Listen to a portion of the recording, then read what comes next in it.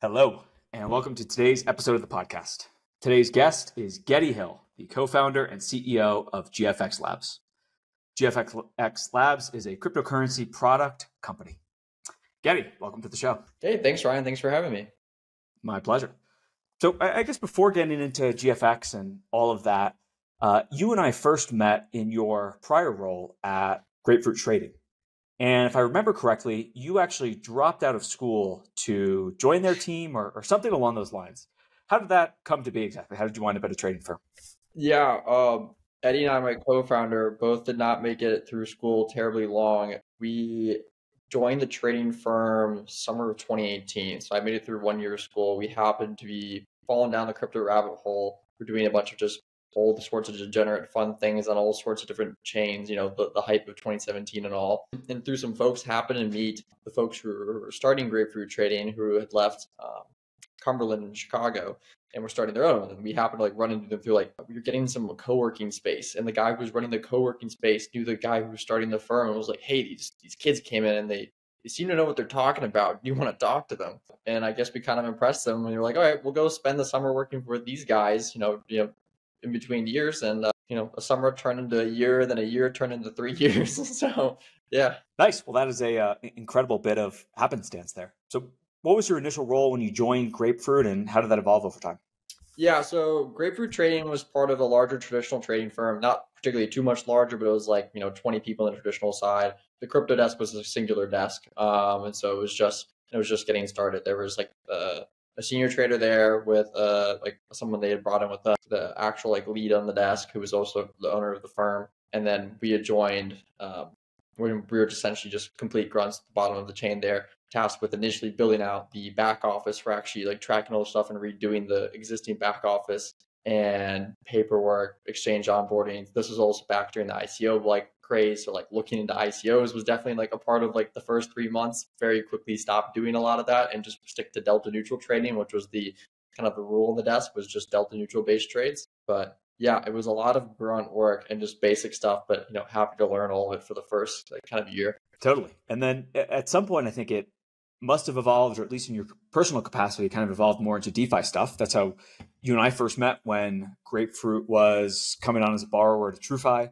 Uh, but where did that was that just kind of you guys yeah, following the markets or how did that we you know the, the, the existing traders on the desk were trading um, perps BitMEX perps etc all sorts of stuff a lot and had they're already running their own uh, automated market making strategies on a couple of the, you know, the top exchanges and whatnot. And so in between us doing like necessary work i had started to like learn a bit about what was going on in the defi world and this was like MakerDAO was essentially the only thing back then and whatnot, and Compound had just coming online, dabbling in these things before stablecoins beyond MakerDAO existed. And then slowly over time, we're like, oh, this is kind of neat. And it went from being like, okay, we can actually make like, you know, our trading strategies more efficient because we can borrow capital like from Compound instantaneously, or we can use it to like settle OTC trades faster because we can borrow this capital and that capital and, you know, use it during settlement processes. Uh, and then just slowly like scaling that. When I say slowly, I mean like I remember the pains of like 2018 and 19 like very well still. I feel like and that was a very slow period of like of, of DeFi when it was just way, way smaller. I'm sure you do as well. Um, and it wasn't like for a really long time until like when I'm trying to remember when did TrueFi actually like launch? Because I know we were there pretty early when it came to the borrowing stuff, but the, the time does blur for me a bit. Yeah, that would have been November of 2020. So just uh, about three years ago. Okay, right. Because yeah, Compound launched its craziness uh, and the comp token the yield farming stuff in May of 2020, right? So yeah, then that was okay. So yeah, checks out. And I remember the good times over there being like trying to explain to uh, the boss on the traditional side of the firm, being like, so I can go on the forum and I can ask them to lend us some money. And because people actually know who we are, like they'll just lend us capital. And he's like, why. I, it was a long conversation trying to convince them to understand like what is occurring here on the traditional side of the firm. They just did not get it. Yeah, that was one of those things where looking back at it, there was really a period from like I guess with TrueFi November to maybe February where that was the case. And then, you know, we started moving to a more kind of traditional underwriting, yeah, but using on-chain software. Window. Yeah. Right, right, right. But you guys were definitely in there for that. And I agree, looking back, that was totally insane in in many respects. But well, it, yeah, I, I, look back at our early usage at the trading firm of like Compound as absurd. I mean, we used to represent a huge portion of like uh, capital on Compound, and you know, looking back on our knowledge of what we understood that protocol like under the hood to be compared to like my knowledge of borrow-lend protocols today, it was crazy we're doing that. But I mean, you know, tis these things, right? I mean, it all it all worked out, and then I can I can proudly say that in our three years of the trading firm, we never once lost money in a hack, exploited contract, etc. We were like uh, Eddie, my co-founder, and I were like ruthless about making sure this never happened because we knew the traditional side of the firm would like murder the crypto desk immediately if it ever happened. So we always had to be a little extra careful with what we did. Yeah, that's definitely a tough one to come back to if you have traditional partners on that. So were you guys, uh, you know, auditing or diligencing these things before you put capital in, or what was that process at the time? I mean, eventually, I would say like by time you know the compound stuff was like late 2018, what 2019, like early 2019. By time 2020 rolled around, we were pretty well versed in like smart contracts at that point. So like we, we had a very good understanding of like compound v2 when that came out etc like uh, all, all that stuff was really just the early days when we were kind of in hindsight doing things not as well as we should have by time 2020 rolled around even late 2019 we were working with some decent amount of capital on chain uh, and then particularly in 2020 once like the compound comp tokens came out and you could do the looping trade and such uh, then we were diligencing contracts and everything and we had some strict inter- internal rules that we set for ourselves about like how, when, and where we would deploy capital, etc. That makes sense. So uh, I guess you know, at some point there, you branched out and decided to start GFX. Uh, I guess before kind of getting into that founding story, though, you know, what was it things from you know at the beginning of Grapefruit you were working on more of the operational stuff as well, but what are things you've been able to take from Grapefruit as you've started GFX and some of those learnings? Yeah, the opportunity we had at Grapefruit was fantastic. Um, you, you know, you would think that running a trading firm and running like GFX Labs is fairly different. I would say like there's you know the products are obviously different, like you know the thesis is different in itself, but there's a lot that we carried over, especially from like when we started GFX, in the sense that our boss over at Grapefruit Trading gave us a really like a huge um, breadth to operate in. It was really like, hey, like delta neutral trades only, like don't steal the money, and it took a long time to earn his trust. Don't steal the money uh, if something does go wrong, tell me immediately. Well, essentially, he's like three rules. But otherwise, like your role here is to just like make money. And like if you can't, you get cut. If you do, you'll be rewarded. And that was that. And the thing is, like those are such wide parameters. That was the same thing when we came to the startup. Okay, well, you have like capital in the door. We have our brains, and we have money in a bank account. Like, what can we do to generate more money, essentially, at a large scale? And so, in that that frame of mindset that we kept going through for two, three years on the trading desk, I would say like really largely applied to GFX and like still does and how we think about things. We think about things very literally, things like with like probably more economically than most people. Uh, we really do like look at the actual details and build out models over here. And I constantly hear when you know we talked to other you know investors in the space and they're like, you know, you guys are thinking way overthinking this stuff. When I you know people think we're very commercial. I've been called commercial many times by folks because of our knowledge in the trading desk and like how we do things. But it taught us a lot of great lessons, I would say. Yeah, there's something very pure about uh, what your manager had said to you there. Just like make money, you get rewarded. Don't make money, you get cut. There's something very pure about trading firms in that sense. Yeah, I mean exactly. And what I remember in the early days when we joined the firm, we the, the main firm is based in Chicago. Uh, our desk was based in Miami. We eventually moved down to Miami to the office down there. And at one point, I remember one of the guys had asked the boss, like one day, like, so like, what should we do? And he was like, well, if I knew what you should do, I wouldn't have hired you. that was that was that was the answer. So it was like, okay, it's really just a blank slate of like you can do anything as long as it has returns and you operate within the you know the three rules. And at, like at GFX, it's very much that same mentality of like you just got to get it done. Like find ideas, try things, like come up with a plan. If you want to change the plan the moment you've came up with the plan, great. But just like execute and like try to get that small one. A big thing in prop trading is like not trying to overbuild the strategy immediately. Like prove with as like small, as little effort as possible and capital possible. Prove the idea and whatever you're trying to do, and then if you want to make it more efficient and automated, etc., like go for it. Uh, but like that's definitely how we apply a, a lot of what we do over here. Yeah, I, I resonate with a lot of that, and I think I come at maybe from a different angle where you know you're coming from a prop, prop trading perspective. I'm coming from a perspective of having worked at a Silicon Valley company that raised a bunch of money in the past. And I feel like maybe the lessons you learned in the positive way, I learned in the negative way, where you know, I think that there are a lot of excesses that come with being overfunded and not having that pure goal and mission of make money, which is just clean and simple. Uh, yeah, but... I mean, I will say on the inverse of that, I'm sure there's a lot of lessons, but like um, Eddie and I would have learned if we'd come from a company that like was a larger scale company and like we didn't really know anything about building teams. I would say like that's one of the shortfalls like Eddie and I had when we started the company was like we didn't realize how long it would take for us to really build the team that we want to have and like what that looks like in that process. Uh, you know, we'd never hired people before and stuff like that. The ops of running a company, oh my gosh, I did not appreciate the headache that. And I, this is crazy. I mean, we did a ton of ops work, but it was all trading ops work. And even though I like for many years was stuck doing the tax work for our desk on the uh, at the firm, you know, still the ops work of running a company is like one of those things that unless I feel like you've done it before, you just don't appreciate. Yeah, state by state filings and just so many oh, headaches. It's it's yeah. ridiculous. But all right, uh, on to the more fun stuff. So, what was the initial kind of impetus or insight you had then to start GFX? Like, where did yeah, that come from? So Eddie and I had been at the firm for for three years, and like I said, this was like essentially our first job out of school. Um, that be it like you know not a lot of school, but uh, and so we had had had you know as you can imagine at the DeFi year had a pretty good year uh, and thought you know it was the appropriate time after doing a good stint at the firm to um, switch to building things rather than just trying to get a P&L number move to move every single day. Um, and so we started GFX with like the core ethos of like Bell Labs and AT&T, and that's very much like still what we want to do. And that you know they have this Goliath company that really is the the whole funding of the operation and what uh, and whatnot. And then you have the research and development side um, that is the really fun and interesting part that you know has all these awesome patents and is known for such historical and significant research. And so the hope was kind of that we could always build that AT&T and then develop you know great research and and such in house and get bright minds to build other interesting things inside of crypto and out. We've kind of walked along that thesis, uh, I would say, since we started the company. Uh, it's a difficult one, I would say, until like you get to like a certain scale. Um, but hopefully we get there eventually. Yeah, so I, I, remember, and actually I'm doing this from memory, I think, so I might be wrong, but I, I remember when you guys launched, you had the Minecraft like kind of gaming experience. Yeah.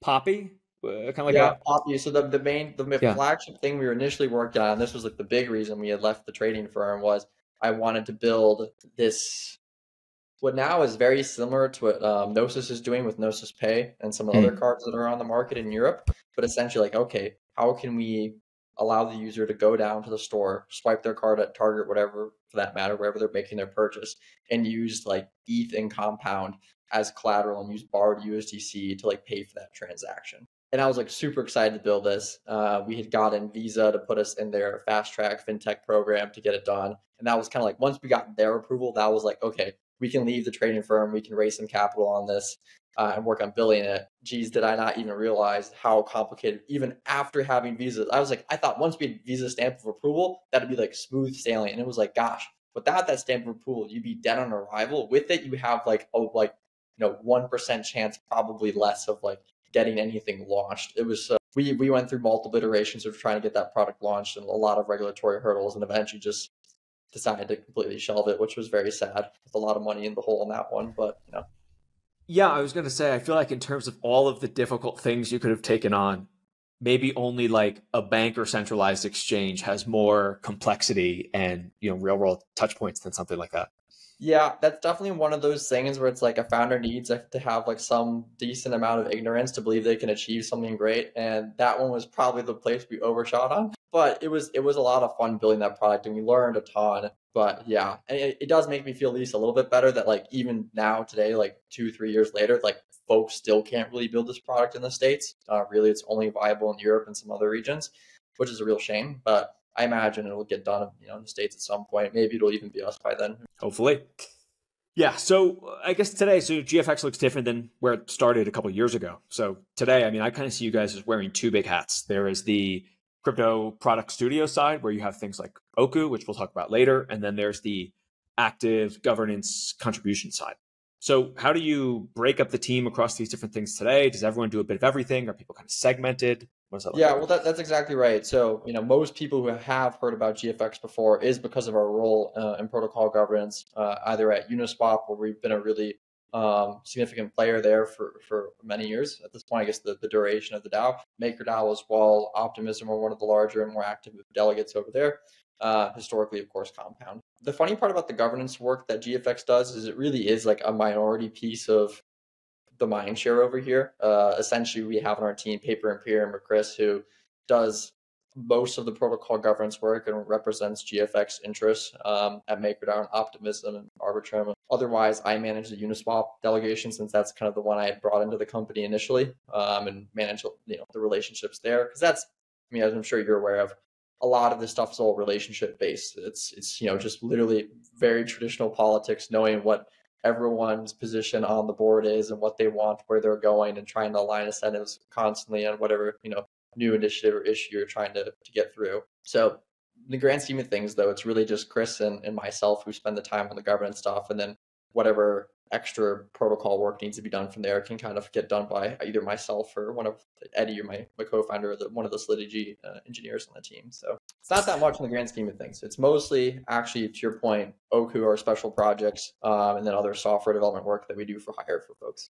Okay, I, I actually didn't realize that at all. So I guess then in terms of your kind of time split, it's actually very little on the governance side compared to yeah. all the other stuff you guys are doing. Yeah, I mean at this point because I really just manage the Uniswap stuff, you know, it does help on our team, and I don't think I can't imagine there's really any other teams in the space that are like our size and what we do, where they have like one full time person who they only do protocol governance. So like that does alleviate a lot in the sense of like I don't have to do all of that, and I can kind of just kind of trust Chris to do a lot of that well, and you know keep an eye on what's going on over there. And of course, you get involved from time to time on the larger votes. But yeah, otherwise, maybe I spend five to ten percent of my time in a given month working on Uniswap related things. Uh, the other thing that's a little difficult is like a lot of the delegation stuff that Chris works on are positions that are protocols that do have paid delegation. So this is a bit of like a still of a weird issue that not many protocols have dealt with, and that like Maker actually pays a pretty decent amount for delegates um, still. Uh, actually, pretty well, uh, pretty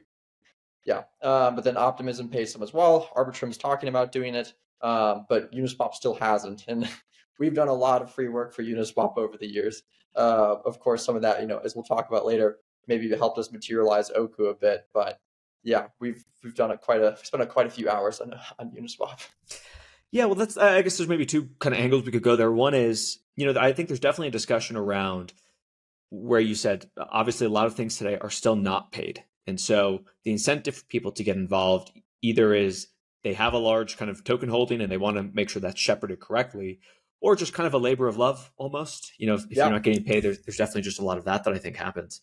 I mean, that's, um, that's what it was at Uniswap for us is a big reason why we did Uniswap and these DAOs in the early days. And I like doing stuff at Compound was it was fun. And what other, you know, what other space or industry could someone who's just extremely young like ourselves relative to what you normally have to be be able to affect this much change on protocols that are responsible for this much money and you know flow uh, that to me is just exciting. So that being said i think that excitement does kind of like wear off over time. We've done a lot at uniswap. We've done like seven or eight successful proposals. We've been a huge part of the multi-chain expansion. Uh, we've done a ton at compound and such as well and we did a lot of it because we're not getting paid at the same like idea of can we build a brand and whatnot as well? Can we get more people aware of GFX? And we kind of more or less topped out on that. I think at Uniswap, uh, there's not too much more we could do to get people aware of us. Essentially, everyone is at this point uh, who's going to participate in protocol governance. That is so. Yeah. So, do you still look into getting active into new DAOs as well from governance perspective? And I guess also, right? I mean, I've seen you do more ad hoc stuff like the infamous Ferrari. I don't yeah. know how long ago that was now, but like, how do you think about even one-off things like that? Yeah, um, we do. I mean, I think Optimism, like a relative to our stack, is the newest one. You know, it's not terribly new now. We're like in the I think going into the fourth season season of governance over there. Um, Arbitrum, we've been dabbling in. You know, we we hold a pretty minority position over there.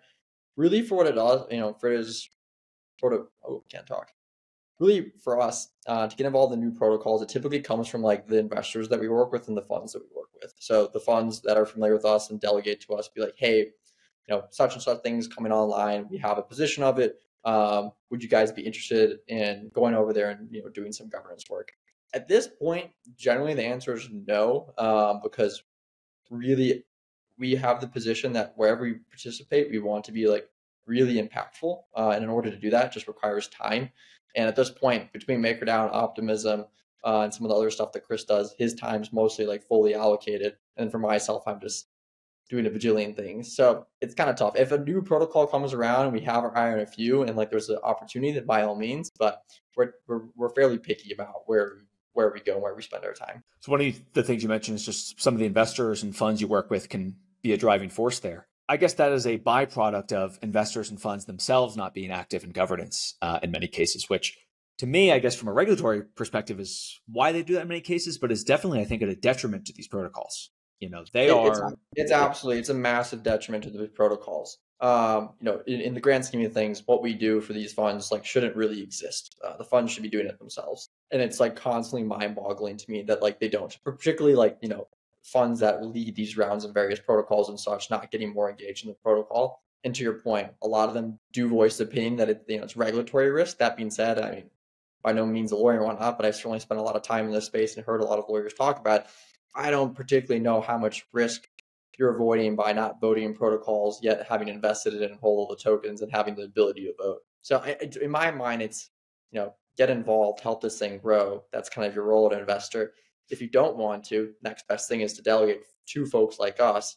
Uh, but beyond that, just to like sit out and be completely passive, I think is is a bit poor form. But I think you know the industry is improving in this fact, but it's extremely slow. Yeah, I I definitely agree, and I think most of the investor involvement we've seen have been more of these activist type campaigns, right? Uh, yeah, ARCA or I guess often ARCA or kind of these RFV type of people. What do you think about the role some of those folks have played in the industry? Are those productive? Are they distracting?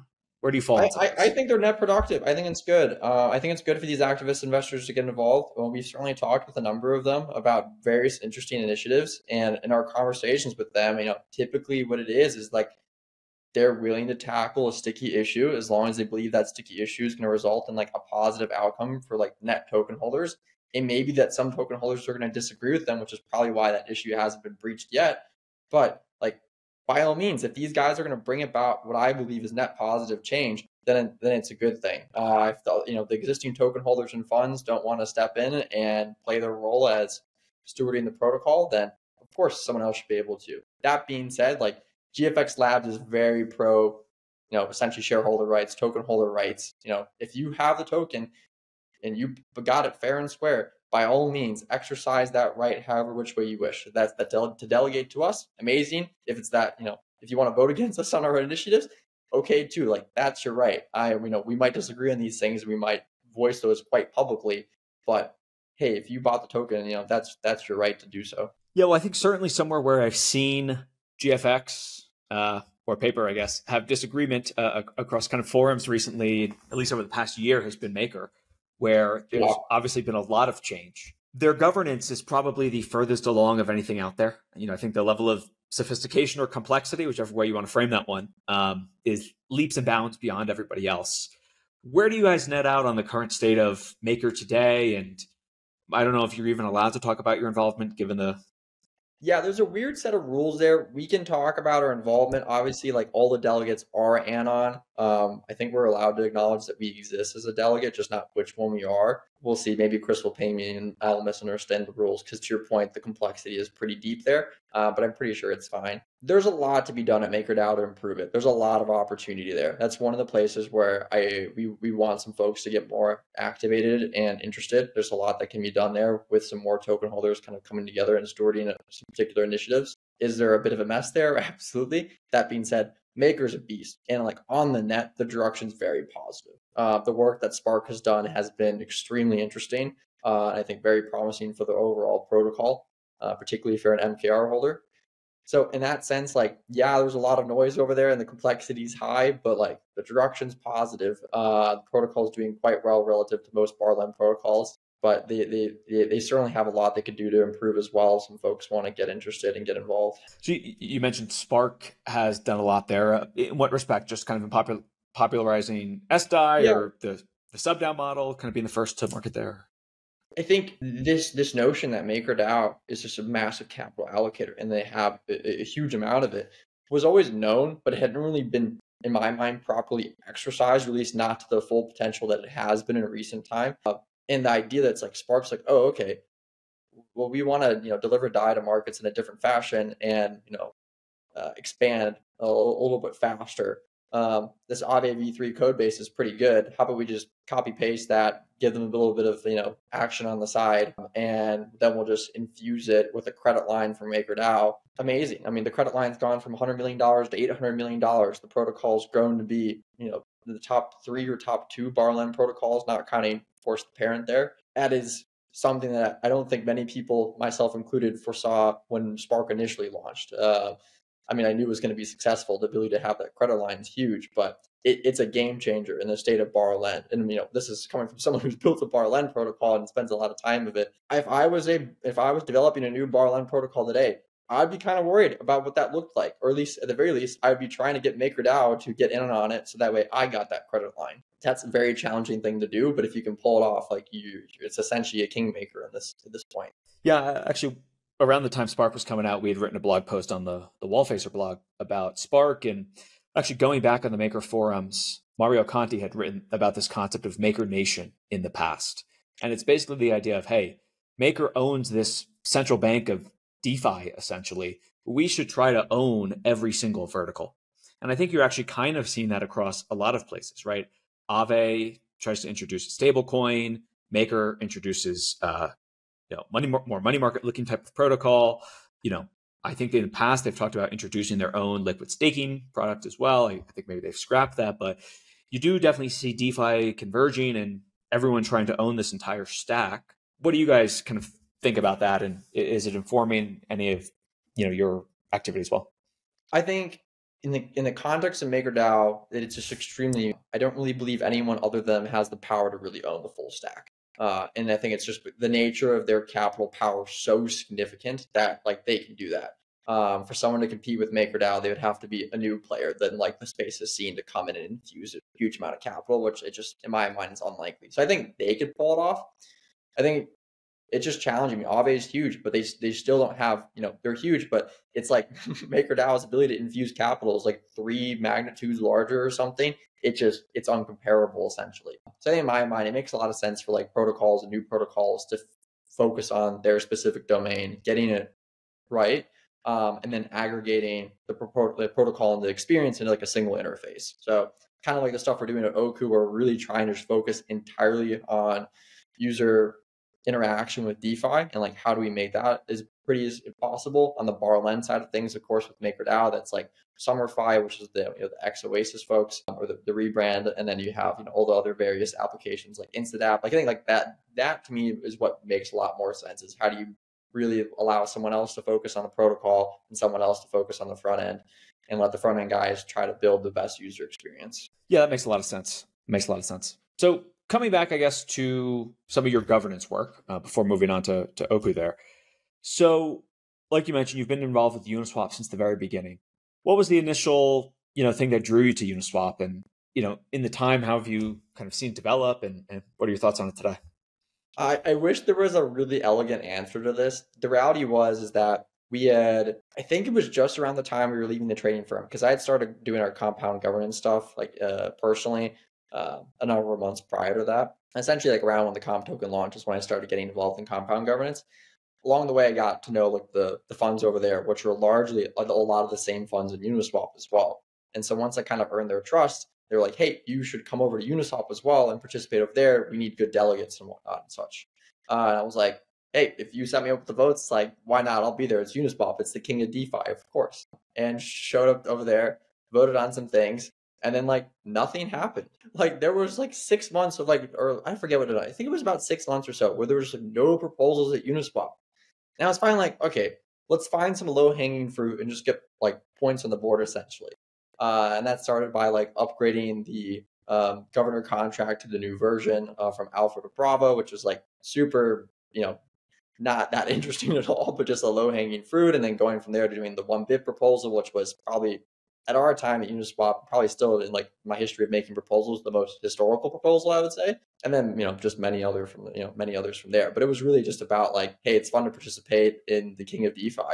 Why why wouldn't you? I mean, stuff like making the one bip proposal had a huge uh, long term impact on DeFi while being a rather trivial thing in the grand scheme of things. Yeah, and I guess uh, across the board, I mean, how do you think about Uniswap governance today? I would say it is probably the biggest, you know, native token on-chain treasury, I think, at least.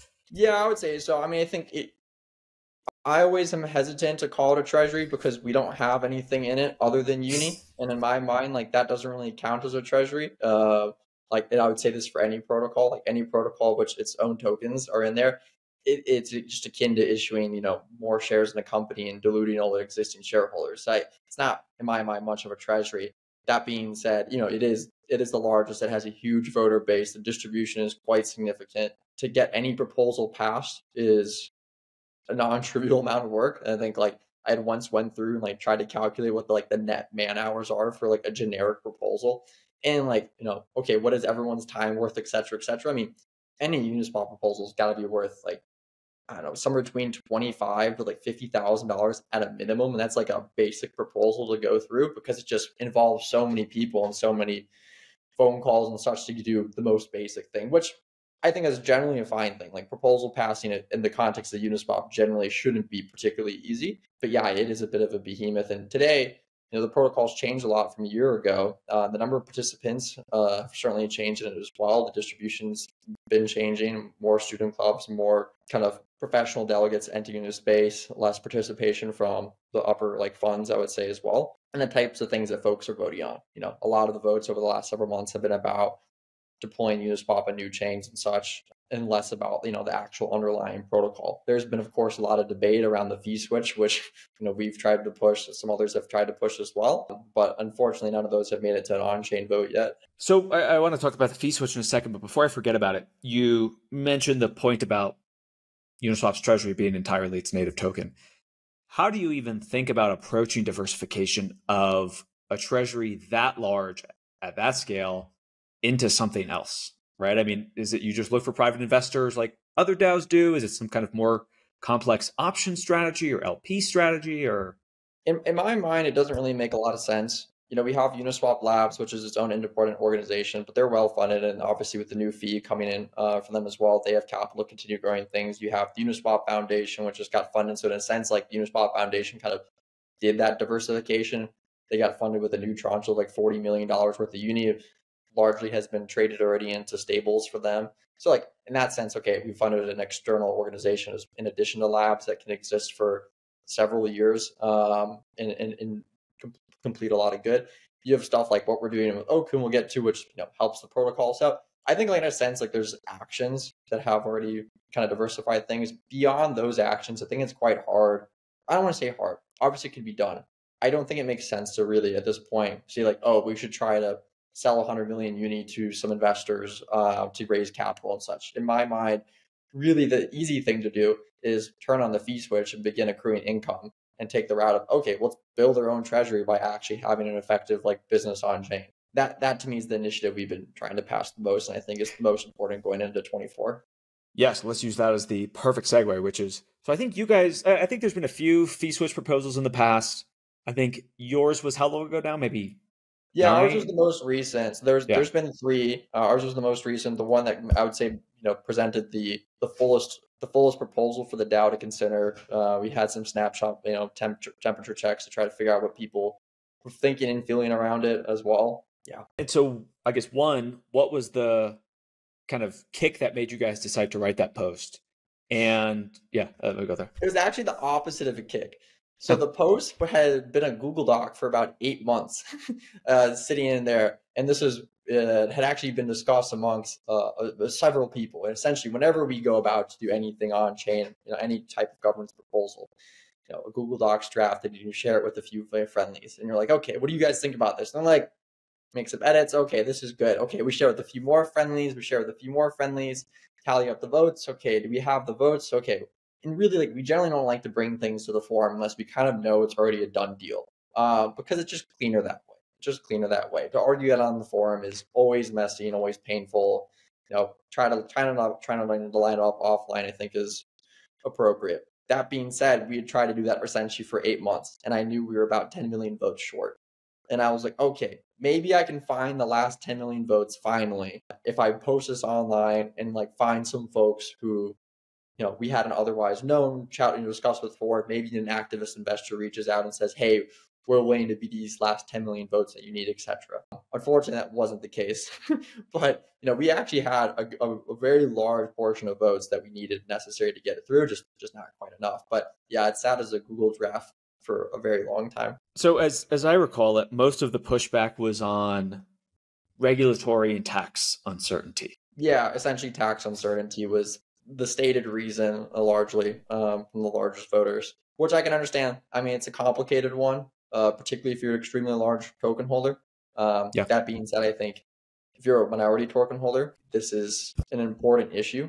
Otherwise, kind of what's the point in my mind? Like, you know, not to be not to be too terribly candid, but truly at this point, we're you know, V3 has been live for about two and a half years. V4 is about to come online. Uniswap's market share has peaked. I think at this point, it's really only going to go one direction, unfortunately. But that's the nature of being the king. Is it's, it's hard to hold that position, and I think it will hold the position for a long time. The market share is humongous, but it's a, it's it was the appropriate time to turn on the fee switch, and I think today it still is the appropriate time to turn on the fee switch. So it just it was just a complicated one. Well, two follow ups there. So one, actually, do you have a hypothetical of if the fee switch had been enacted when you guys made that proposal, how much revenue would be generated by now? Do you have like a even ballpark or something? Oh, I would if you'd asked me before, I could have found the number. It's it, yeah. in, in, the forum post included um, capital projections. It, it, it was going to bring in substantial revenue. I mean, the Uniswap protocol has huge flows going through it. Um, it was going to bring in quite substantial revenue. The plan initially, though, was to monetize only Polygon at first, and this is one of the ways we tried to make it more appetizing to folks. I, personally, I kind of wanted to just do it on Ethereum and get it on with, but you know, some folks were like, that was a little too aggressive. So we're going to just do it on Polygon first, see the economic effects on it for a few months. And then if it went to everyone's satisfaction, we would have done it on Ethereum. But yeah, I mean, the DAO. if you, well, I should bring up the forum post, don't be wrong, but I mean, tens of millions of dollars a year, no problem. I think on right. like, when we look back into like the bull market kind of time frame, hundreds of millions of dollars a year. Right. And I think this is really now the time where we're maybe entering a market where there's going to be a lot more on-chain volume no time like the present to just start bringing in those fees especially in an environment where there is someone who is monetizing from the protocol you know? Absolutely. Right. and that's it. I mean in my mind if labs felt that it was the appropriate time to monetize it on their end it is the appropriate time to monetize it for the protocol.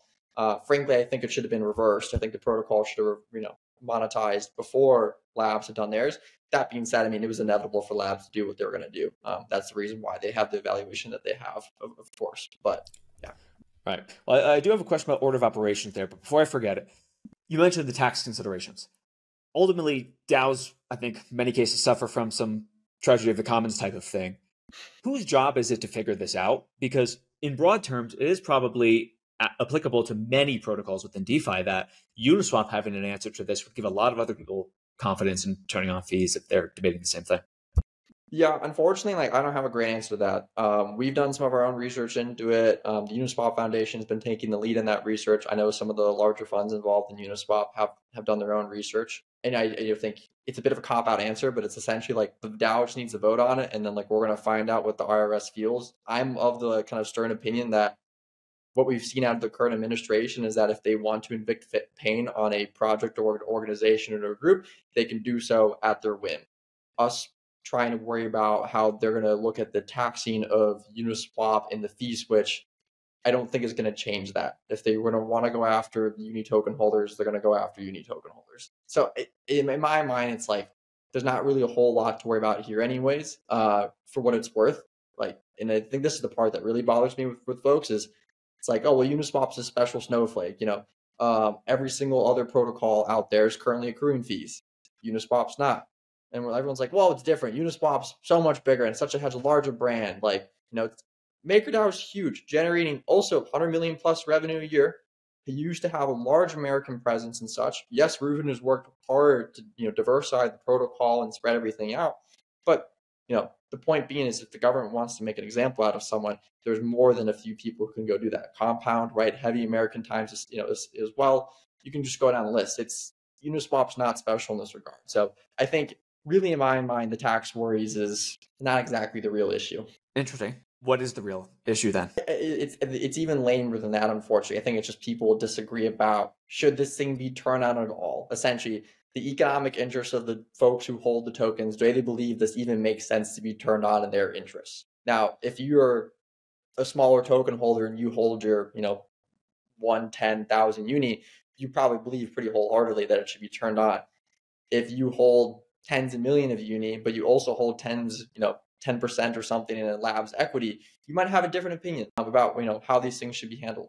And like I said before, this is where it's really, really important to emphasize as much as I make that point, which sounds a bit odd. We're very pro token holder rights. You own the token, you get to do whatever you want with it. But that doesn't mean that everyone else in the DAO needs to be led to believe that the fee switch is going to get turned on someday. So there's just a balance there in my mind. Yeah, so that, that brings up two things. So one is, do you think that if you made the exact same post you did eight months ago today, that the public opinion would be any different? Specifically in light of now the order of operations of labs has turned on fees ahead of the DAO. Do you think anything changes in people's thinking? Yeah, absolutely. Uh, that that that is that will the public opinion there certainly changed, and the participants have certainly changed. Um, there are more participants in the DAO today who hold votes who share the same opinion that it should be turned on. So it's actually something we've thought about bringing back up to the DAO. We've been extremely busy, and I know for fact there are other forces that are already working on this that are going to bring probably a prettier proposal, even than you know the, the essentially the fourth generation Uniswap fee switch proposal to the forums in the not so distant future. And so I like I think that'll be the fourth and final one. If that vote gets a great, if it doesn't, it's gonna hard to imagine that there'll be a fifth one after that. Wow. So uh, I guess in your view, there's a lot riding on this this fourth proposal. I mean, I can't be the only one who has the opinion that we've been around for almost three years and talking about this since before V3. How much more patience are folks going to have? I certainly know mine's pretty much worn thin. Um, so I, I, think that being said, I'm very optimistic about the next iteration. So like, I don't want to sound too doom doomsday. I, I, generally think next one will get approved. Okay. So on that then, you know, I think there is an ongoing thing, this discussion around uh, DeFi protocols and their labs entities, right? They're kind of founding entities and what that relationship looks like and evolves to over time.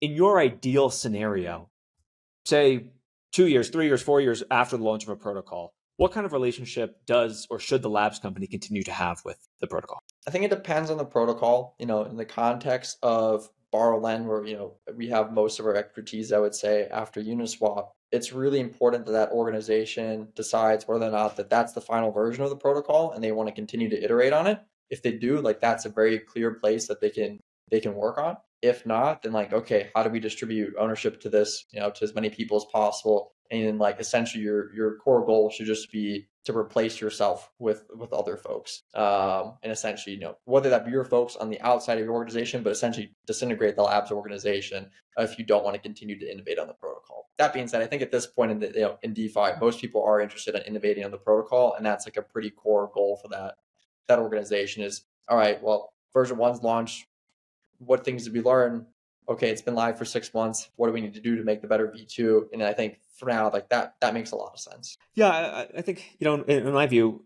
even though it didn't work out, I, I, was always impressed with what Compound Labs tried to do with Compound Treasury, where to me, that almost felt like the purest version where, hey, we've built this great protocol. We're not going to really take advantage of any sort of special privileges. We're going to try to build a business on top of it and deal with all of the challenges that come with it. I think in some sense, Uniswap Labs is maybe trying to do the same thing, but just the being the default UI, I think was tough for the maybe the perception there. Yeah, exactly. I think this is Compound and Aave have the position of that. Like, there's actually quite a few other like clear UIs for them. People have already built things on them. There was never really much of like a layer on top of Uniswap beyond trading. Uh, there still really isn't today. You know, some folks building tooling around LP and of course and such, and you know protocols that interact with it for other trading functionality. But it wasn't the same view of like Compound really took to being like commercial to have other people come and build things. And I think Compound's take or trying to build Compound Treasury on it makes a lot of sense. And yeah, like I'm sure if the Uniswap folks listen to this, they'll be like, yeah, we're doing the exact same thing. I think it's just different because in the the clear sense that Compound had was monetized from day one the comp token holders have a right to interest there. If they want to like, extract it, they can. Whereas UniDAOs kind of just stall that a protocol that is great at moving capital around and being good for traders and LPs, but never really did much for the uni token holders. Yeah. Also, I mean, and I, I kind of see, I don't know, maybe Compound V3 is kind of like the the final iteration or the in their view a very good iteration. And it seems like most of the day to day work there is kind of I don't want to say outsourced because that's not the right word, but like handed off to a Gauntlet. I forget if they work with Chaos, but I think maybe just Gauntlet. Like yeah, people Gauntlet. who are kind of fine tuning the protocol into perpetuity. How do you see that space, kind of the risk management space within DeFi? Gauntlet, Chaos. I'm sure there's some others. Yeah, I mean it's it's it's going to grow in one. Uh, I think we need more participants here. I think we need more participants who are uh, properly incentivized to do a good job. Um, and we've seen some folks like IntoTheBlock begin to try to enter it as well. And I like particularly like the idea of these organizations that are capital allocators who have large stakes in these protocols and are simultaneously trying to manage the risk in it. It's it's really important in my mind. This is essentially like at some point we're going to kind of top out of in to some degree we're kind of there, but we're not, I don't think we're quite there yet on like what you can do with borrow lend, and then it's just going to come down to good risk management. And it's like the same way we have like in the traditional you know financial world, like banking rails are banking rails. What really makes a good investment bank or otherwise is the people managing the risk, and that to me is like the thing that we haven't really found yet. There hasn't been a great way in borrow lend protocols for risk managers to be professionalized uh, and really get compensated well for their activity. And like I think the only way that's really going to happen is when we essentially have like more or less professionally managed like instances of borrow lend protocols, which is kind of not possible, at least in the states right now, underneath the current regulatory regime. Regime, but I mean, I imagine abroad will happen like very soon, and those things will be really interesting. And then they'll be calling MakerDAO for the credit line, and then it just be wild. So, uh, could you explain that a little bit more, just in terms of the actively managed piece? Yeah, I mean, essentially, what do we believe to be able to give you know a more effective economical market for borrowers and lenders. Aave Compound and their token holders constantly trying to vote on these things and manage them uh, from the forums, or can we actually get like a solid team of analysts and managers in a room and who have real risk management experience? Granted, DeFi is different, but you know eventually the same the same idea, and be like, okay, like you have this capital managed on this borrow lend protocol. Here's how the protocol works, but it's up to you to actually manage the risk here and expand this thing. Because um, to date, really, you look at Aave, Compound, MakerDAO, they've all been built and run by devs for the most part. Yeah, some of them have some you know uh, traditional uh, financial folks in their teams as whatnot as well. But I mean, not to the same extent that I kind of dream as we'll eventually get to. Is you know, this, the risk management key is the, the most interesting part do you imagine these will be like crypto native startups like Gauntlet and Chaos, or is it more like S and P, who also is starting to do more reports in their stablecoin thing recently? I imagine it'll be both. I bet you know the, the formers will initially be. Um, you know, I think it'd be like really interesting if like someday Chaos or a Chaos or Gauntlet like company, one of them or a new one was like, all right, instead of servicing borrow lend protocols, we're just going to make our own and manage the risk here and do it better than everyone else. Which in my mind is like if you are that risk manager and you have that conviction yourself, incredibly impressive because uh, that's really you putting your money where your mouth is at like the most maximum uh, extent. But that's actually know. something I've, I've thought about as well, which is, you know, whether there's a lot of people who, for example, are expert kind of service providers in different things, whether it's like an L2BEAT as experts on L2s or a gauntlet as experts on risk management, where it's like, well, if Gauntlet launched a borrow lend protocol, it would probably be fine tuned to all the things they've seen across every single one they've looked at and probably be a pretty great protocol. But you do cannibalize your main business in that same time exactly. as well. You yeah, you gambleize uh, your existing service contracts in hopes of you truly being able to be better than all the all the status quo, which you know the other half of a borrow lend protocol is capital. So you have to have actually risk to manage in the first place. Uh, Correct. You know, that, that's that's a non-trivial. That's probably even you know harder than the the risk management is getting the capital initially. Okay, so before moving on to Oku, which I'm excited to talk about, just to wrap up borrow lend here a bit. What else are you seeing that's kind of exciting, new, interesting across the space? Uh, the thing that I've been looking for and keeping an eye on for a few projects is cross-chain borrowing. We're in a world where we have a new EVM every week. Uh, the number of L2s of the ZK flavor, of the Optimism flavor, etc., are quite large. The new L1s that are coming out that are EVM. I am really looking forward to seeing who does a good job at cross chain borrow lend for EVM. I've personally written some stuff on it that I really wanted GFX to go and build and maybe even be like IPv2, but we just don't have the the resources over here to make that happen right now. But that in my mind is like the next big level up uh, for for borrow lend is really doing a great job across chain. Okay. All right, we'll come back to that, but let's uh, hop over to Oku for a second. So, what is Oku Trade? Maybe just for people who aren't Yeah. familiar. Uh, Oku Trade is an advanced trading interface for Uniswap v3. Uh, we're live across eight chains a day. We'll be on 14 by the end of January. And we really are just trying to be the cleanest, best user experience for Uniswap v3 and eventually any type of DEX trading that you're interested in doing. We're always going to be Uniswap v3 oriented, uh, but we really just want to provide a great user experience for swapping any type of E ERC20 to any ERC20 on any chain that you're on. So, on the cross chain piece, do you use something under the hood to, or you mentioned you're on eight chains going to 14? Yeah, we're not. Do you have some kind of under the right hood? now. We're just Oh, okay, deployed. Yeah. So we Okay. will like so today. Um, everything is Uniswap v3 oriented. We're just using the Uniswap um, universal router. We're in the process of adding aggregators to every single chain, and eventually we'll take the opinion of being a bit of a meta aggregator, so that way folks, regardless of the chain they're on, regardless of the available liquidity in Uniswap, will be able to serve them the best price. That being said, we are of the opinion that the best protocol to be an LP in is Uniswap. And so the interface will always be geared towards those pools and that liquidity provider information. Cross-chain bridging is on the roadmap, on-off ramping is on the roadmap, doing a better job at managing users' portfolio and their multi-chain portfolios on the roadmap. We have a ton of stuff. We're really just hell bent on doing like really great front end work and really great user experience work that I feel like has been neglected. And the large reason why folks continue to use Coinbase and Binance and centralized exchanges is the UX is just better on those still than DeFi. But we can recreate all that here. So we're just working on it. So, when you talk about those advanced features, do you you allow people to set different order types on Oku? I presume. Do you? Yeah, so, like, there thoughts today- on margin, for example, or Yeah, I mean, like that's one of the reasons why I'm particularly interested about cross-chain borrow lend is, like I said, we're going to be on 14 different EVMs by the end of January. The largest application in crypto today is trading. The second largest is borrow lend, and that's because people want margin on on, on their trading. So, you know, how do we expand into that domain eventually? That's a further out question, probably like a Q2, Q- Q3 question for us, but it's like definitely in, in, in the mind. So we'll see. There's a lot of things that we want to do, but essentially, you know, we can integrate and build whatever we want. The whole idea is, is like there are things that we build from the ground up in the organization. For the most part, though, we want to find folks who are doing a great job building aggregators, on-off ramp infra- infrastructure, bridging infrastructure, all of that, and just bring their APIs into one single fluid interface. That way, the user has one single holistic experience instead of having to go to 12 different websites to do anything in DeFi or anything cross-chain. so? Is the yeah? I guess the ultimate vision there is kind of this. You know, I think people used to throw around the term prime broker or whatever, but you know, some kind of one-stop shop for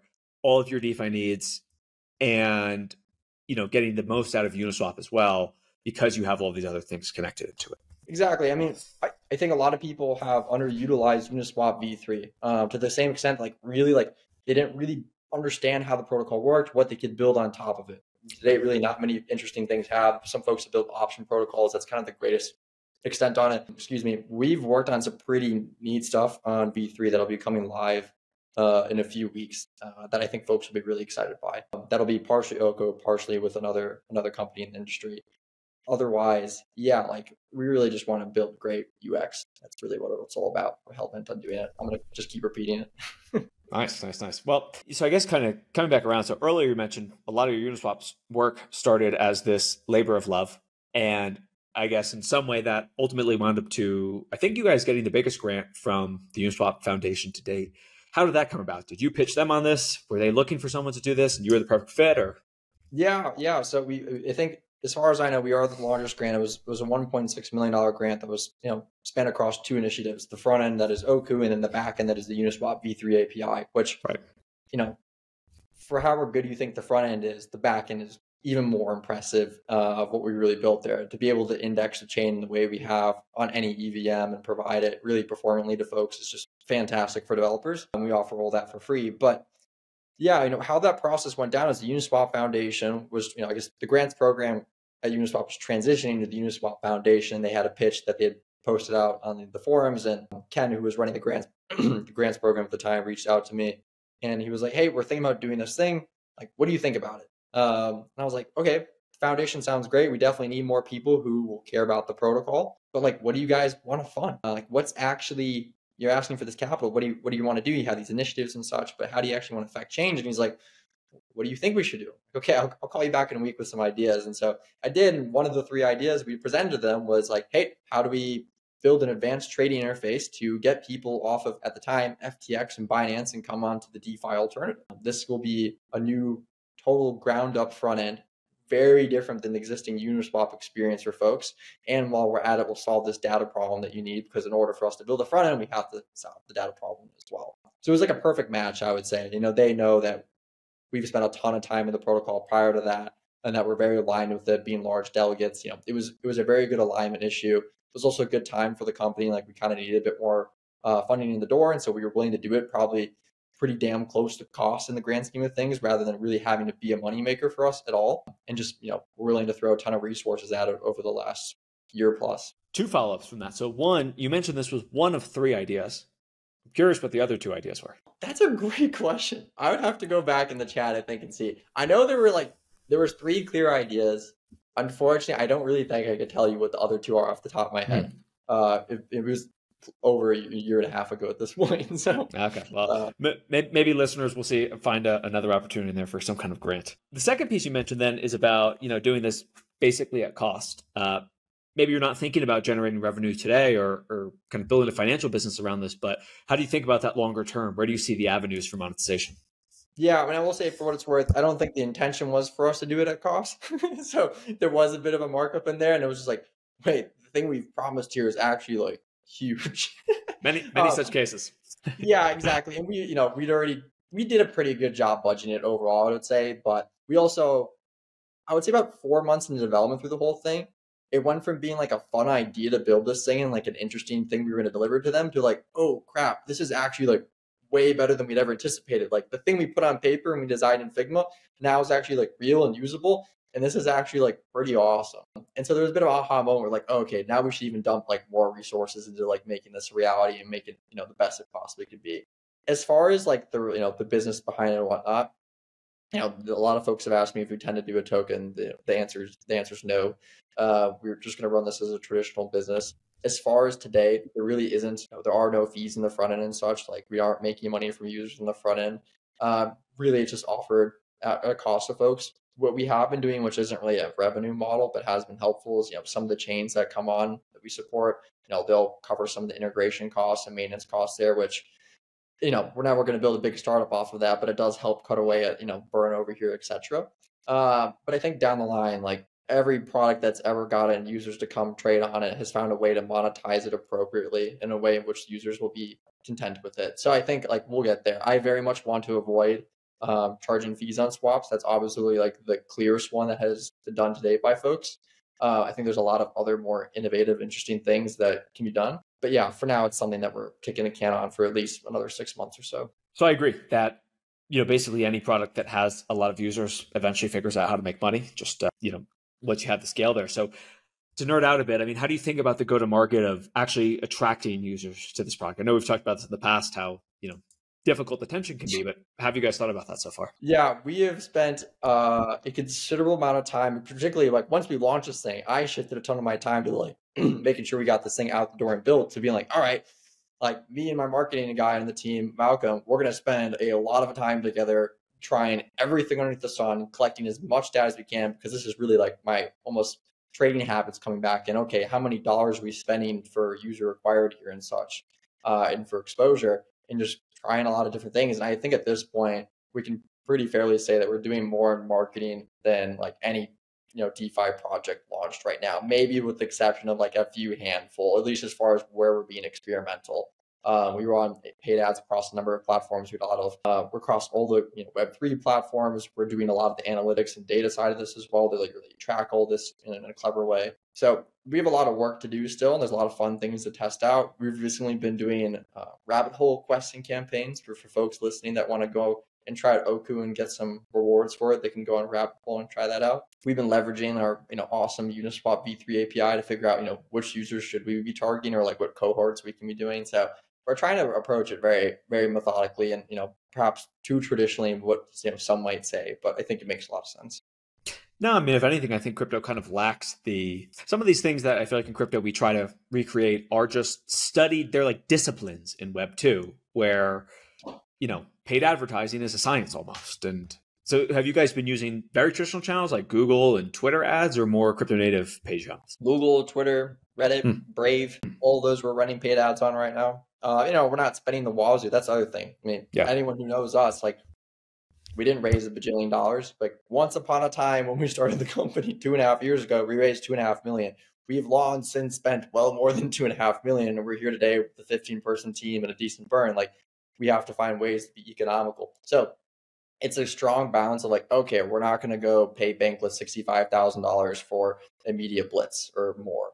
Um, that's that doesn't make sense. These things don't work out what can we do with $10,000 a month? What can we do with $20,000 a month? Uh, even those for us are a lot more than we've ever spent on marketing. But, you know, once you can track the stuff and make it, make, you know, once you can prove the results and it becomes a bit more, uh, you can stomach it a bit more. I guess that's what I'm trying to say. Yeah, that makes a lot of sense.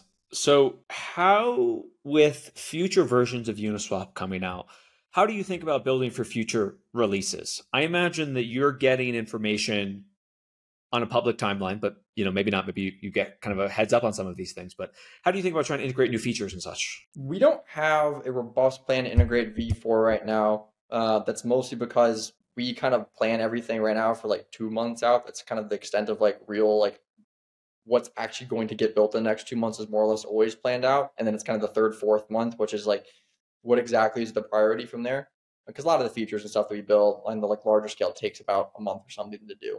V4 has been perpetually three, four months away from us. So it's never been like, okay, once like Goerli testnet's actually scheduled, then like it becomes a real thing, and then we'll actually start planning for it and figuring out what we're going to do there. Um, the V4 rollout's largely unplanned from my point of view. Um, I'm sure Uniswap Labs have some stuff that they've internally done that hasn't really been expressed to the public, uh, or at least not to me beyond that, yeah, I think there's like a lot up in the air still, and it, you know, large part for the same reason that I just gave that it's hard to kind of plan for a thing that's perpetually four months away. Um, that being said, I think it's finally actually four months away. Like, I actually do think we'll begin to see this thing in uh, March or April sometime, but we still have a few more weeks for you know the Dencun stuff to get scheduled. So, you know, related to that, I guess one of the things and if I'm just kind of going from memory here on Uniswap v4, one of the features or pieces I keep coming across, or it's actually Uniswap X. So it's not even Uniswap v4, but it's Uniswap X, which has an off-chain aspect basically to how these orders can get routed if you go through the Uniswap Labs UI. Am I, am I saying that correctly? Yep. Yep. How do you think about that then, kind of comparing to Oku? Like, do you guys wind up having to think about building your own kind of off-chain router as well if if the Uniswap X volume can that can only happen through the labs interface, or how do you guys think about that? Yeah, I mean, I think this is one of the reasons why we, prior to them doing that, we hadn't really given a significant thought, or I could say the opposite. I kind of turned away the idea of integrating aggregators in the interface. I wanted to be an opinionated Uniswap interface. I thought that made sense, particularly because of the grant money we received. With labs kind of giving the nod that they're moving away from that to be competitive, um, in my mind was like, okay, well, as much as it like it'd be nice to be on the high horse and like continue to be an opinionated front end, that's not going to pay the bills or grow the interface and grow Uniswap. Um, the reality is, is like we have to integrate other sources of liquidity in this to offer the best experience, and we can still push Uniswap out to folks. We can still go to new chains and deploy it, but we also have to like be realistic that folks want to know they're getting the best price. Folks that know want know they're getting protected from MEV and stuff. These are at this point important features um, to users. We have to find a way to deliver those to them in a, in a good balance. So that's why like we're integrating aggregators right now. There will be aggregators rolling into the interface, you know, in a few weeks from now, and then we're just going to keep adding because that's kind of at this point the last major feature that Oku doesn't have. We kind of really have everything else that's I would fall in the requirement category. Uh, aggregator is kind of the last one for our chains, and then after that, then it becomes in the fun category of okay, bridging would be nice, portfolio would be nice, off chain, uh, uh, on ramping and off ramping would be nice and such. But those are like nice to have. Less, I would say, like the aggregators a requirement at this day and age. I, I, love your practical approach and mindset to a lot of these things. Something you brought up, I, I guess, is that you guys had raised venture money in the past. I'm curious if there's maybe people who are considering venture or trying to get grants or whatever. What's been your experience working with the two different parties, working with VCs versus working with, say, a grants foundation and the ongoing you know, of each. We did raise in the past, it wasn't traditional venture. So I actually okay. really haven't had the proper like raised fund from proper VCs experience before. When we left the trading firm, we had done kind of our own angel round amongst a bunch of people that were at the trading firm, the other seniors on the desk, the firm itself, a bunch of people in crypto that we had known that knew and like trusted us and what we were going to go do and then some other like friends and family along there. So we essentially like syndicated a whole round without actually having a lead. And so today we've kind of been able to operate with more or less impunity, which I'm certain in some aspects has been good and others not good. I think on the grand scheme of things, it's gone actually like very well and probably much better than if we had had a, had had a VC on us. Like most VCs that I've talked with and know that like we do software development work for hire and such, hated it when we went to go raise before and whatnot. You know, the idea that you guys do anything else than a single product, awful. Like, how could you run a functional company? Almost all their companies are out of business now. Like, like we're the only ones who actually have to pay a tax bill at the end of the year because we made money.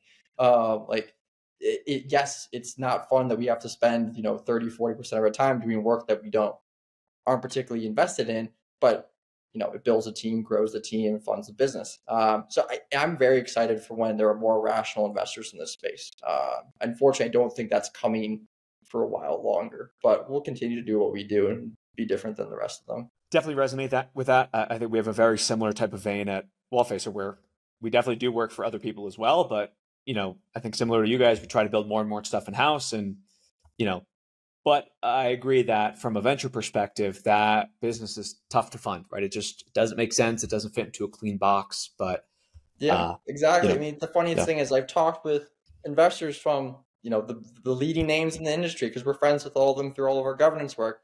Like, you guys made X last year probably made more money than all of our portcos. it's like, oh my gosh. I'm like, we're not doing anything crazy revolutionary over here. And it's not like it takes that much time. And then like, okay, the year's been paid for. Now we move on and we get to do the stuff that we really want to do. And yeah, so we'll see. I, that being said, I really do want to get to a point where we kind of can almost wholly focus on Oku. We've been working towards that over the last several months.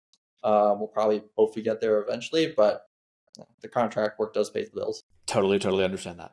Uh, so I guess to wrap up on Oku, so what are your key metrics for monitoring success and like what's the ideal next 12 months look like for you guys? I mean, the next 12 months, when you like really say, okay, what, where are we at by next December? It's really at that point, like about volume, like what volume is going truly going through the interface and what is the magnitude of that volume? And then what is the rate of growth on that volume? We took the approach for the first kind of three months of the launch that was really all about wallet connects and interface our interface doesn't really require you to connect the wallet until you literally want to do something. And so it's like essentially the equivalent of almost like a like a user sign up, but like the last second, you know. Uh, and we figured, okay, yes, we can easily track how many people go to the site, but I want to know how many people like take action on it. And of course, we're tracking swap volume and all that as well. But that was like the nice middle ground of, you know, the first three months, folks aren't just going to show up and start swapping aggressively, you know, unless there's you know, some extremely strong reason to do so, which you know we didn't particularly have. We're just a, a Uniswap interface. So anyone doing it would be like doing it purely because they thought the interface was better. So Wallet Connects, we've gone into the stage now. Volume has become the priority, which I think kind of shows the maturity in the application. And then really it'll just be volume from here on out. Makes sense. I respect that you guys don't make the Wallet Connect happen upfront. That is the worst. It's dev experience. The new thing we're doing, and this is just a really quick tangent, the new thing that I've been just uh, really annoyed by all DeFi apps is that they make you go to a landing page and click open app every single time.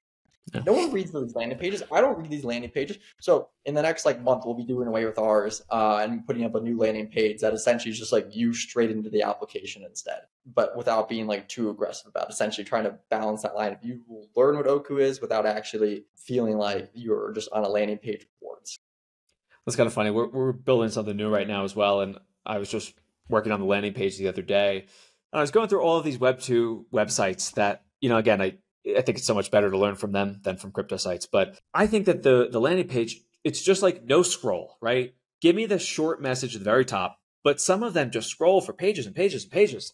All right, no one's reading that part, but no one's. I'll reading. also I'll, I'll also yeah. take your feedback there. Maybe just go right to the app. Maybe that's the way to go. I'm that, so what we're doing is we're essentially saying like the app is the trading page right now for us and the swap page. It's going to be like we've taken a lot of inspiration from like when you land on Yahoo Finance or Google Finance that mm. there's useful information there while also not necessarily being the exact stock that you're looking for, the exact equity you're looking for, etc. Um, you know, how do we have a, almost catered analytics interface that is also a bit of like trading like. So that way, anything you click will take you to a page for you to trade. Essentially, it's like one big, you know, come trade with us button without actually like having those buttons in front of the user and making it look bad. Nice, nice. So just recently you tweeted, Oku won't ever do points. If you're going to do a token, do one, but don't pretend to do one. Where's your thinking on points? Not a fan, I presume.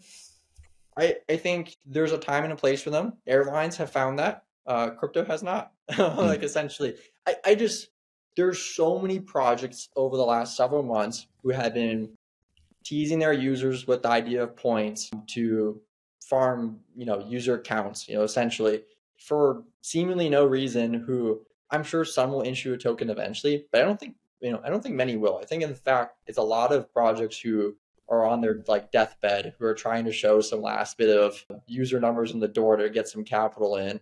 And if they aren't able to get some capital in, then it just is it. They'll close it down and you know, that'll be that. What are the users gonna be mad about when the whole thing goes flop? It's a bit of a harsh opinion, but I do think it's the reality for a lot of these projects. Interesting. Uh, I won't make you call out any of those deathbed projects, though I would be curious for an example if, if you're feeling so spicy. No, I'm all right. okay. Uh, I, I, guess I'll, I'll give the counter of maybe how I was thinking about points, which is I think the scary thing about a token is that in general, once you launch it, it exists forever. And it's not like you can just wind it down or kind of go home. This token is going to exist forever.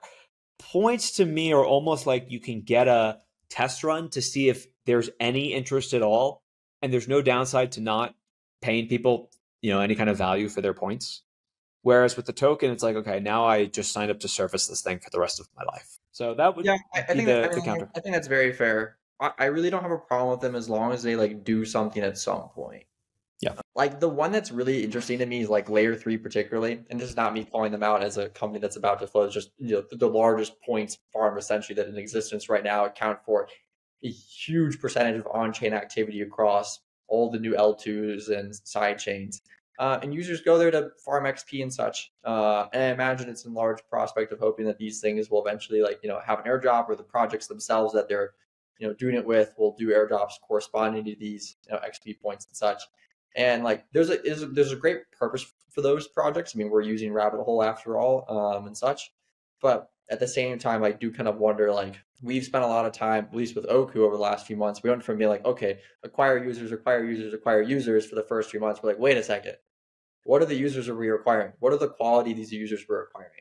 Um, like we have a huge number of wallet connects on our platform, but how many of these wallets actually have a thousand dollars in them? How many wallets actually have ten thousand dollars in them essentially? And like I think the point stuff just kind of gets gets it real messy real fast. I don't I don't need a whole click farm coming onto the site you know perpetually because they think zkSync is going to get them some airdrop based off of oku usage yeah that's fair uh, i guess from your perspective it can kind of conflate some of your metrics and yeah i mean we definitely spend we have to spend time and effort to like clean our metrics so that we're like wait what is real usage here and what is people thinking they're getting a token from zkSync because they did a trade on oku and like and such and you know other things so i think like yeah, and I, I just can't imagine like in the long run, like how many users are going to get burned and be like, oh, we did all this stuff, we spent all this gas money, and then like we never got anything in return. Like I, I just don't feel like it's a great introduction to to crypto and to DeFi folks in the long run. Yeah, it, maybe it's maybe it's too harsh, but all right. Well, I guess as we're kind of coming to the end here, one other question to come back to optimism for a second is you guys are large delegates there. Recent retro public goods funding three I always get the letters wrong, round, definitely seems to have brought a lot of controversy just in terms of companies that have raised venture capital getting uh, OP rewards, smaller companies not, et cetera, et cetera. What's your kind of recap on the last round and do you think it's effective as it is today? This is a tough question. I, you know, I will clarify that the, you know, j- just for listeners that in optimism there are like two sides of governance. There's the citizens house and the tokens house. We don't sit in the uh, citizens house. We only sit in the token house.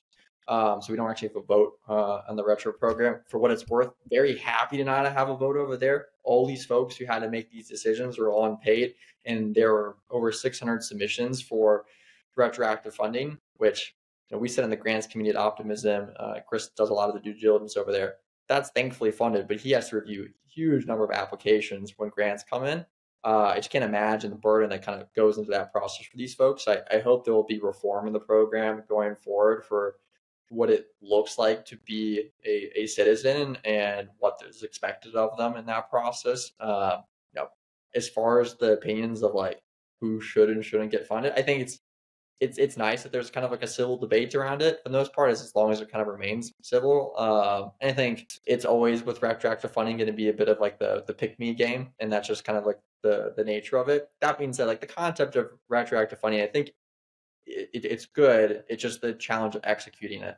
The challenge of executing is just very hard, I think. And on the net, like, is the program successful? We'll see in, in a few years, I would say a lot of the folks who requested money are good projects. There's also a number that probably don't really need money, or like we've always had the strong stance, and perhaps we're biased here that you know if for any grants program, writing grants that are you know on the smaller side tend to not really affect real change in a DAO or a project or a protocol. And so you know, as you would imagine, in order to affect big change, you kind of have to write those larger checks. Um, kind of like the one that you know we had with Oku is extremely large, but you know checks in the uh, upper 50 grand or 100 grand, maybe you'll actually begin to like achieve something. But to kind of just give out a lot of grants that are a few thousand dollars here and there, I'm not saying that's what the program is, but just in general for grants programs, we haven't seen, I feel like, as an industry, a lot of success in those. Yeah, I, maybe this is my more capitalist mindset, but definitely just on its face, the retro public actives, retro public goods, whatever,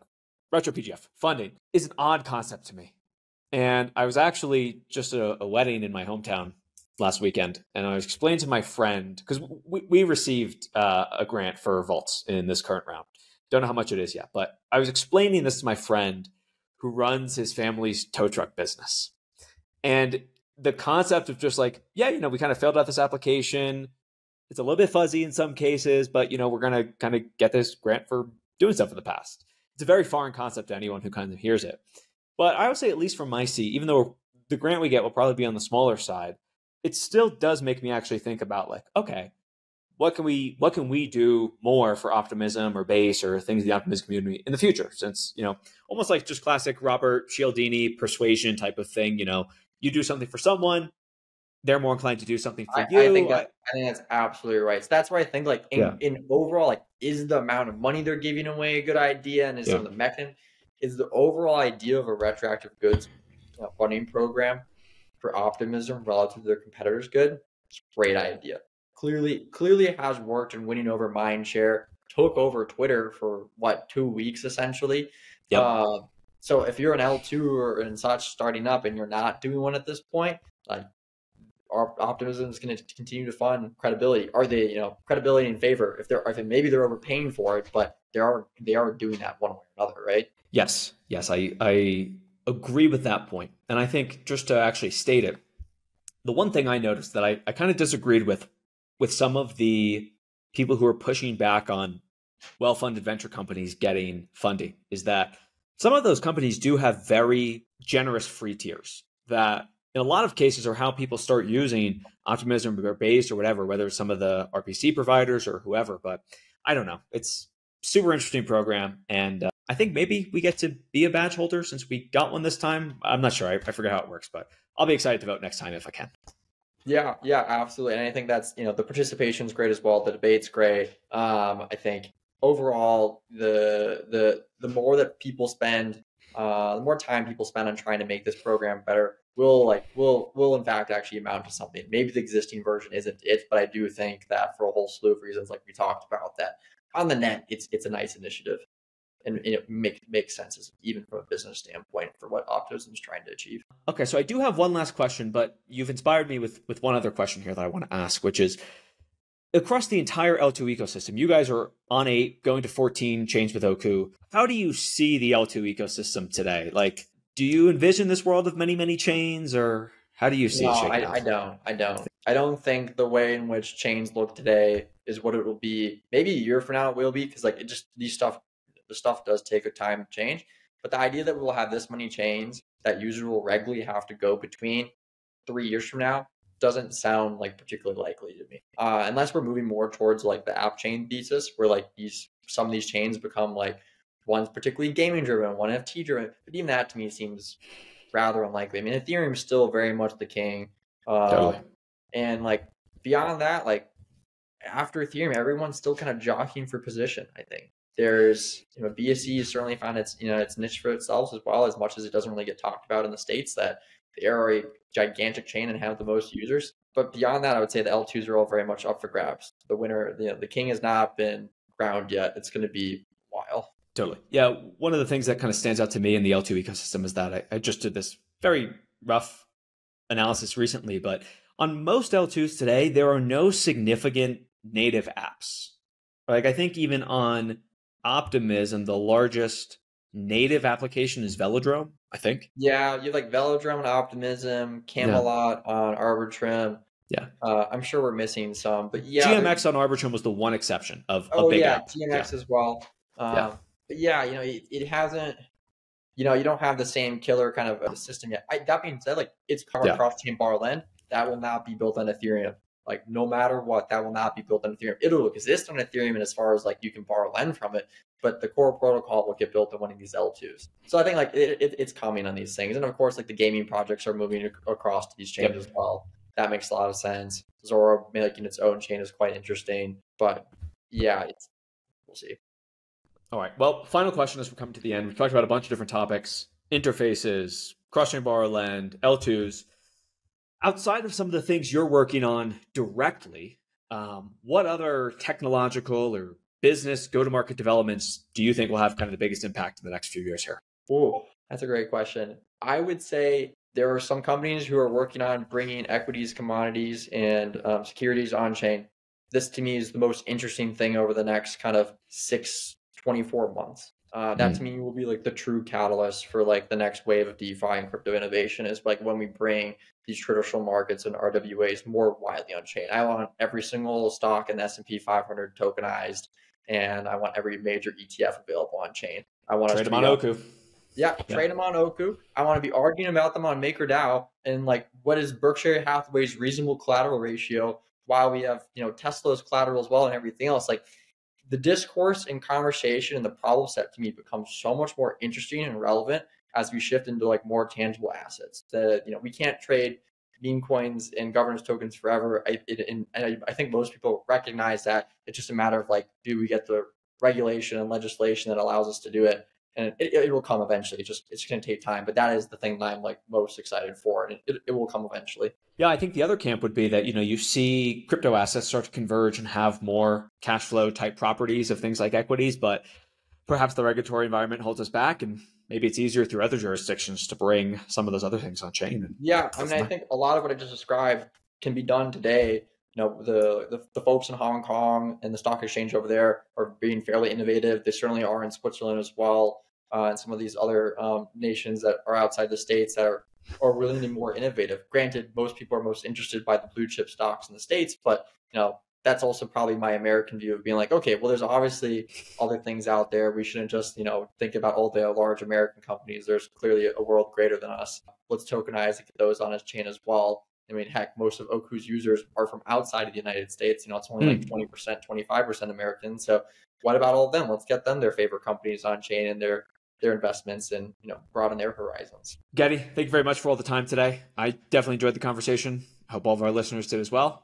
And yeah, uh, it was a lot of fun. Thank you for having me. My pleasure. Talk to you soon.